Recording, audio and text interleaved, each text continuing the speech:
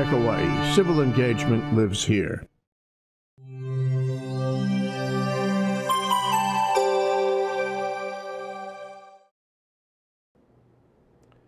Good morning. Aloha, everybody. My name is Mark Shklov. I am the host of Think Tech Hawaii's Law Across the Sea program. And today we're going to talk about uh, winning and losing and whether it's worth the risk. We're talking about sports, a subject that we all like to participate or, or watch on TV. Uh, but there's another aspect of it the risk involved in sports. Katharine Nohr is a Hawaii attorney and she's an author. Uh, her focus is sports risk management, and I'm going to talk to her today about what that means. It's a subject that we should probably learn a lot more about if we participate or watch sports. So, Katharine, welcome. It's good to good to see you. Uh, good morning, Mark. Good morning. Thank you for having me on the show. Well, uh, it's an area of law that uh, I'd like to learn a little bit more about. What, sure. what, what is sports risk management? Well, uh, in Hawaii and everywhere else in the country, we're quite litigious.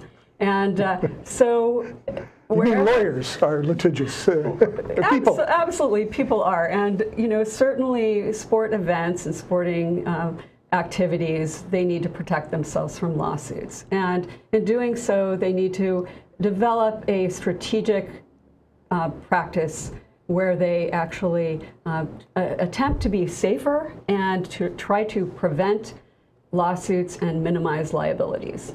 And so the sports risk management is an area of, is it law or is it some, or sports or is some combination of the both that tries to meld those two ideas together and, and take care so that the, the risk is less or, or? Uh, when I got involved in this as an insurance defense attorney, I thought, what would happen if I was uh, involved in combining insurance, uh, law, and sport? Because those were my passions. And so I came up with sports risk management, and I found out that it was an area that was a, a, very interesting area where I could try to become an expert. And so I wrote a book on it, and I've been speaking internationally about it for many years. So what, what kind of, what, I mean, how, how does it affect our daily lives of sports here in the United States? What, how does it, how does sports risk management affect what we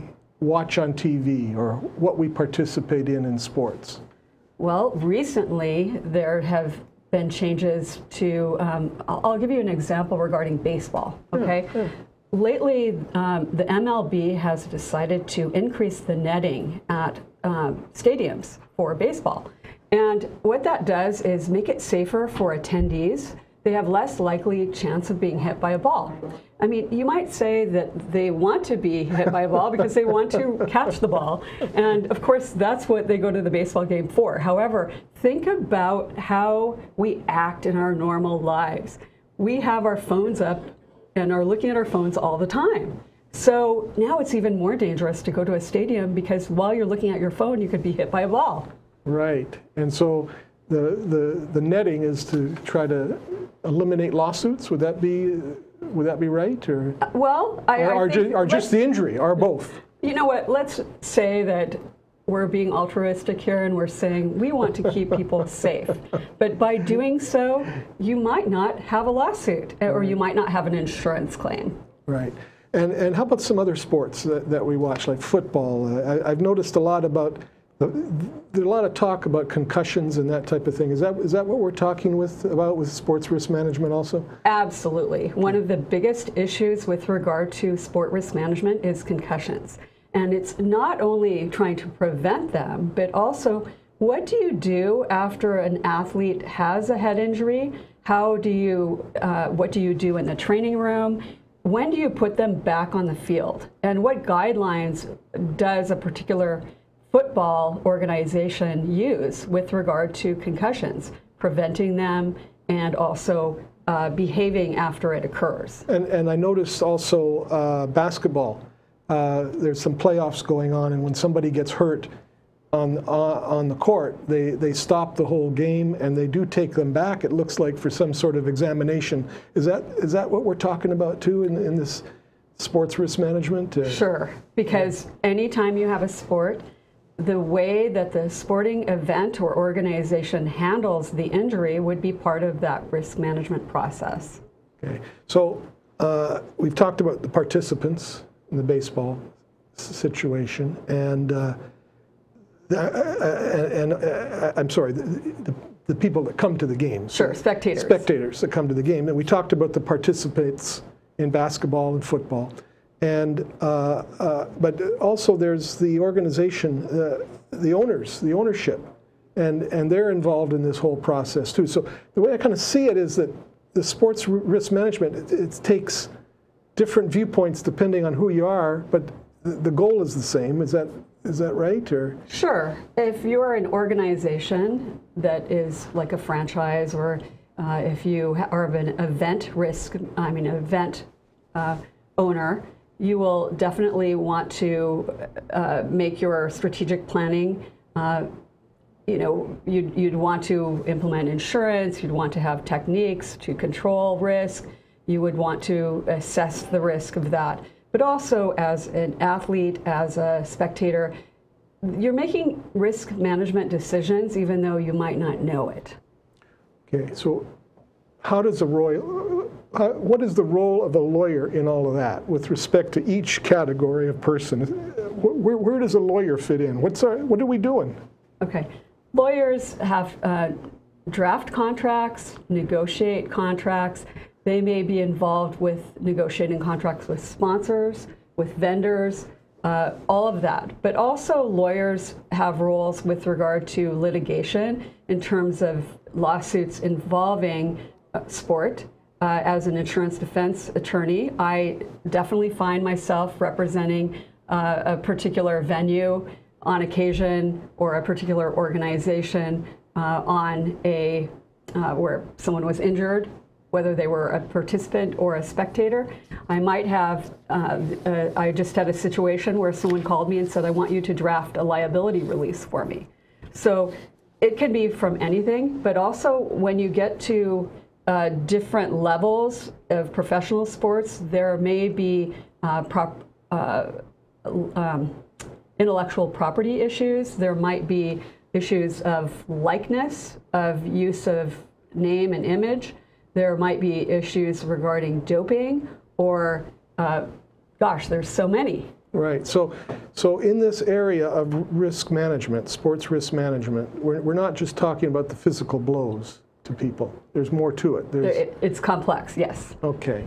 And is there a difference between amateur sports and professional sports? Is there, uh, is there some uh, uh, issues that are only in professional sports that are not in amateur sports, or, or how, how, do, how do those two work out? I mean, if, if, if, if you're in Little League, do you have the same problems as you do in Big League Baseball? Okay, there's always the basic challenges with the actual sport and potential injury, but a professional player has much more at stake, and there are more complexities regarding risk management, and those would include the contractual nature, the money that they're making, what is at stake.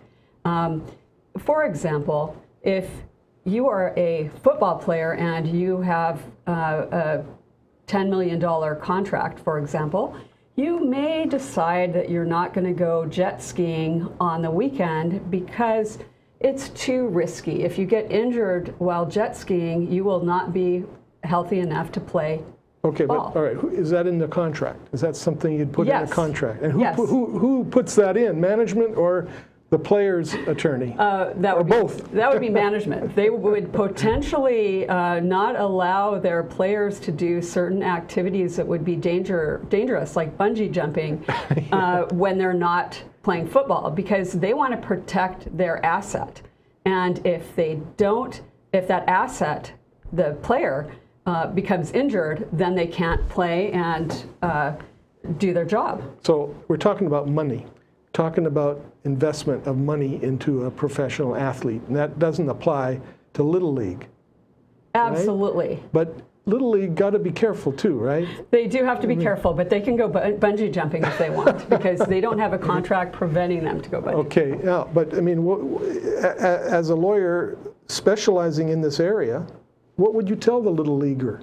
I mean, about bungee jumping, or, Oh. or would you? I mean, would you give him advice to to look ahead a few years, or what would you say? I would tell the little leaguer to have fun and just be careful. Okay, all right. Now, the one thing I, I did, I, I, I'm always been curious about if, if uh, a, a professional athlete gets hurt somehow, eh, eh, let's say, well, I mean, I guess there's two avenues. One, he, he, he goes out in Las Vegas and has a few drinks and crashes his car. That's one avenue. The other avenue is uh, the athlete uh, on the field gets slammed and hurt. And both, both cases, uh, uh, you, you, you know, you, it's very, I, I guess, you, I don't know how, how you handle those, first of all, contractually as a lawyer, if you're trying to represent somebody. Uh, but then how, what, what happens to the athlete? What do they, those, as a result of those two accidents, they can't participate in the sport any longer? How, how are those handled from a professional uh, standpoint? Well, if you're looking at an injury on the field, that's in the course and scope of their employment. That would be a workers' comp issue. If it's outside of the field and they might be even violating their contract by uh, getting drunk and driving, or, I mean, clearly that's a criminal issue. And so attorneys would be involved in representing them on the criminal aspect.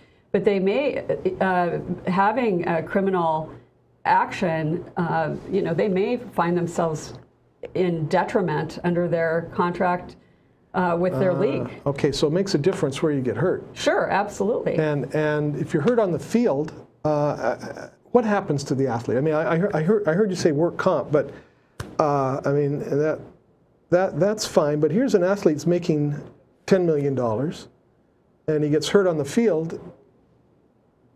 What happens?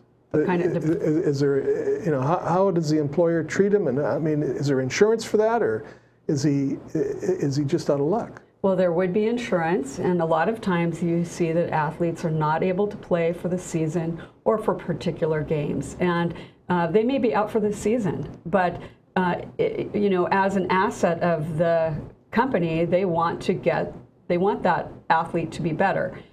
Uh, they want them to improve, so they're going to do everything they can to get that athlete back to uh, playing condition. Do they still get compensated? Sure, absolutely. They would get compensated um, through their contract and also uh, through any workers' compensation that might be applicable. Okay, uh, do they have specific insurance that covers field injuries or, Well, that, that's the course and scope of their work. okay. Yeah. So, all right, well, I'd like to take a break right now and then we'll come back and talk about the Olympics because I want to find out a little bit more about sports risk management and the Olympics. Okay? Fantastic. All right. Aloha, I'm Keli'i Akina, and I'm here every other week on Mondays at 2 o'clock p.m. on Think Tech Hawaii's Hawaii Together. In Hawaii Together, we talk with some of the most fascinating people in the islands about working together, working together for a better economy, government, and society. So I invite you into our conversation every other Monday at 2 p.m. on Think Tech Hawaii Broadcast Network. Join us for Hawaii Together. I'm Keli'i Akina. Aloha. Hi, I'm Dave Stevens, the uh, host of Cyber Underground, uh, every Friday here at 1 p.m. on thinktechhawaii.com. And then every episode is uploaded to the Cyber Underground, that library of shows that you can see of mine on youtube.com. And uh, I hope you'll join us here every Friday. We have some topical discussions about why security matters and what could scare the absolute bejesus out of you if you just try to watch my show all the way through. Hope to see you next time on the Cyber Underground. Stay safe.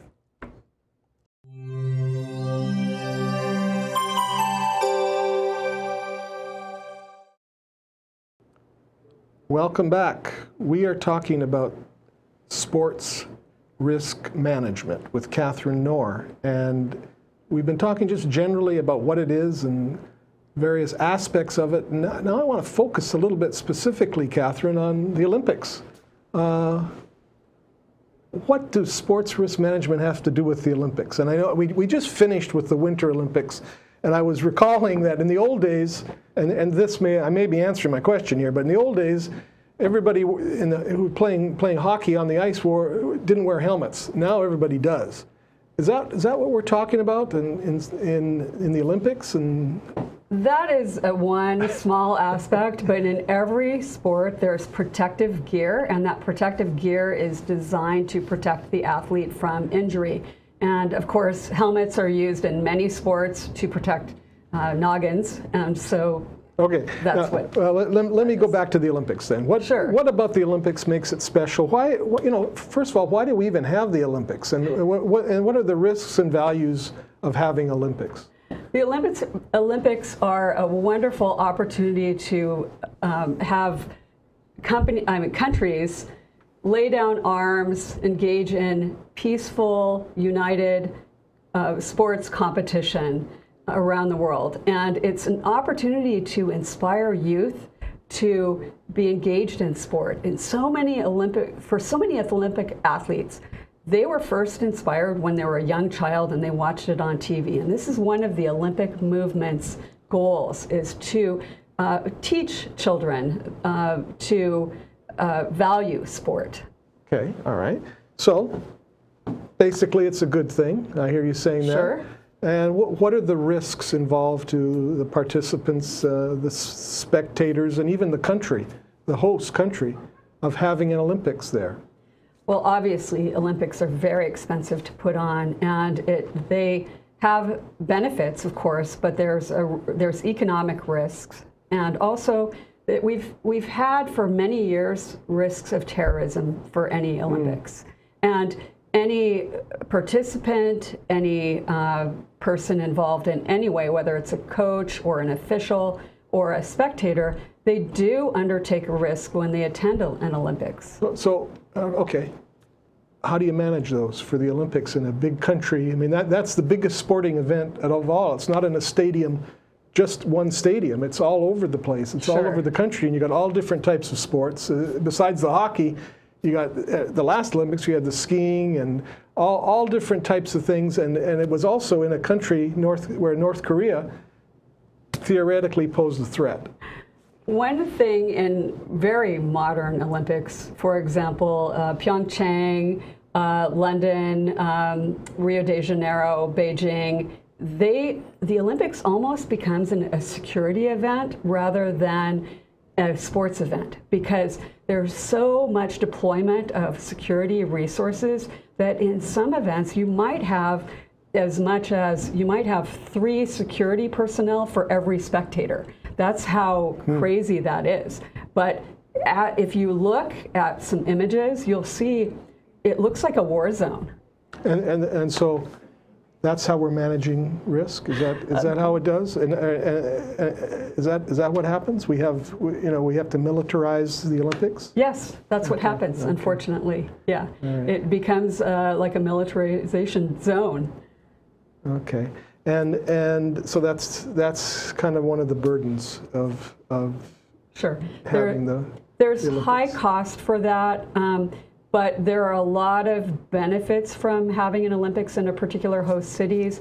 The benefits would include uh, legacy of infrastructure. There would be uh, economic benefits. It improves the country and city's image. These are very important benefits. An example would be uh, Beijing, where uh, the world came to Beijing. We didn't know anything about it, and all of a sudden that was on the map. And it, in a lot of these places, like Sochi and Pyeongchang, the world doesn't know about those places, but we learn about them through media coverage. and uh, specifically with Pyeongchang, how, how, uh, you know, what, how did that work out? How, as far as the, the risks and how, how were they handled? There were a few glitches. The opening ceremony, there was a cyber security attack, which uh, actually caused challenges to the internet, to broadcasting. It caused problems for ticket holders for the opening ceremony to print out their tickets. So there were actually some empty seats. Um, there was a problem with a norovirus, an outbreak to 41 security guards uh, shortly before the Olympics, which caused some challenges and scare. Uh, it scared some athletes, but they um, replaced the security forces with um, military, uh, with the South Korean military, and they um, sanitized all the potential areas and isolated those people involved.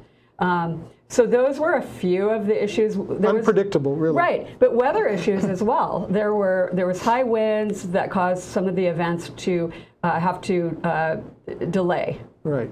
And, and so they, they found ways around it, and it appears to be a successful, uh, successful Olympics. They even invited the North Korean delegation, and that seemed to help calm things down a little bit, too. Uh, sure. Were there, is there a role for lawyer, was there a role for lawyers in that? Did, did were lawyers involved in that, or, or was it, or, or not?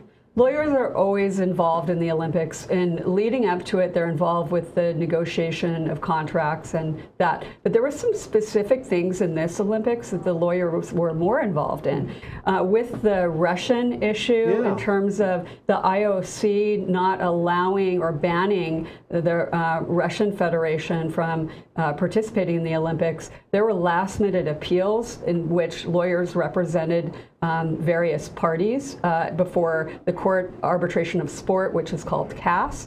Um, there were they're always involved with doping issues, eligibility issues, and um, issues regarding Olympic selection. Uh, so there's many and sponsors. They're very involved with sponsors. Okay. And, and so, you know, you, you mentioned the doping issue, and that seems to come up a lot. Uh, that, that, seems to be an inter, you know, what, what do you tell an athlete? How, how, do you, how do you counsel as a lawyer an athlete to deal with that risk or, or to be careful? Or what, what, what do you tell them if, you're, if, you, if, you, if you have an Olympic athlete or, or somebody that has aspirations? And uh, uh, how, how do they protect themselves from that risk? The first thing they need to know, and their coaches need to know, is what the banned substances are. And whether the banned substances that they're trying to avoid might be in foods or, or drinks that they might consume. They have to avoid all of those.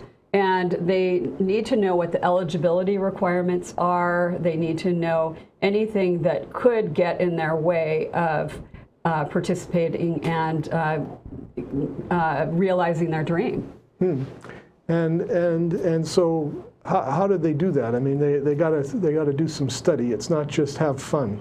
Correct. Right? Yes, Okay. they do have to be aware of these things. But we often hear of the excuse, I didn't know, but they, they knew. Um, uh, Olympic level athletes will know everything about banned substances. And if they have excuses, I don't know, which is not a good excuse, um, too bad. You can't manage your risk by saying I don't know. Correct. You have to have some knowledge and then be able to act on that knowledge. Is what I hear you saying. That right? Absolutely. Okay.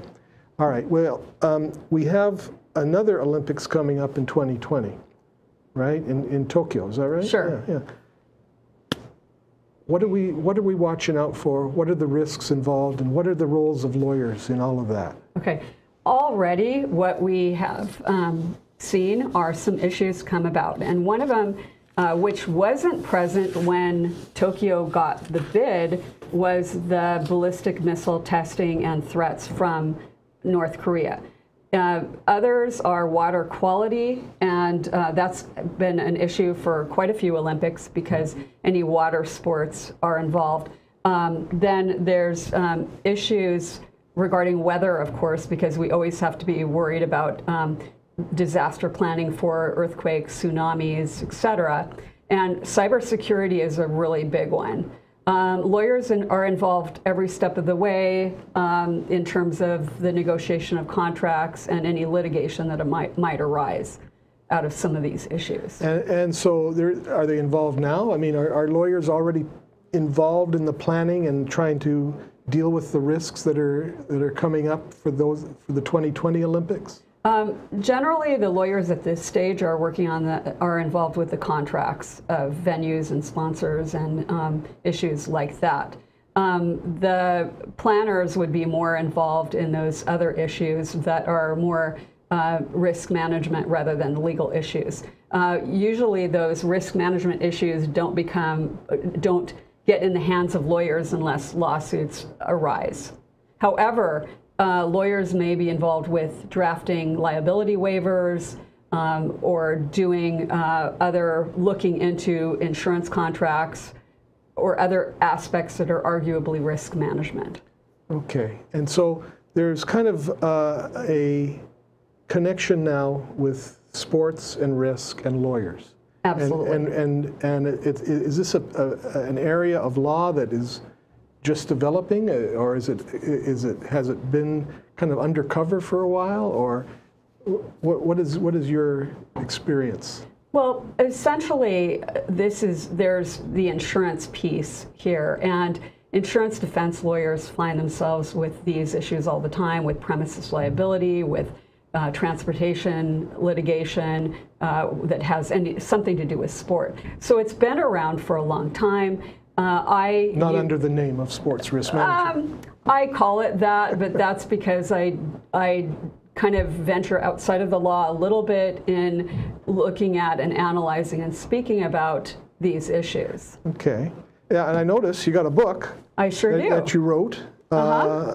Uh, how did this uh, come about, or what was your what was your th- thinking of this on this book? Okay, what I did was when I I thought it was interesting to combine insurance, sports, and law. I thought, what would happen if I reviewed all the appellate cases on sport and uh, across the country and summarized them and put them in sports-specific chapters? And that's what I did. And I it was interesting to see what what I saw there. And I also developed checklists for sport organizers so that they could use the checklist to address sports risk management issues.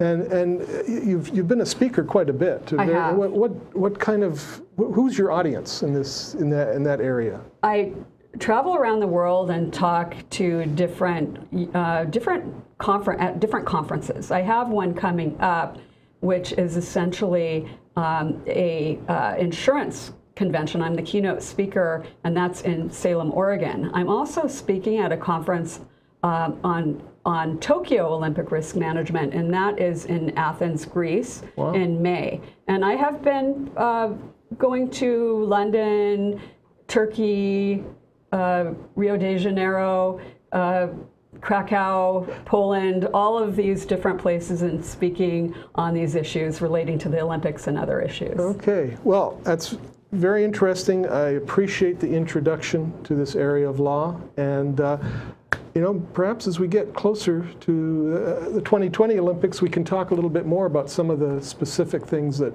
we have to watch out for as a someone that wants to just go and be a spectator. Absolutely. All right. Thank you very Thank much, you. Mark. Thank you, Katharine.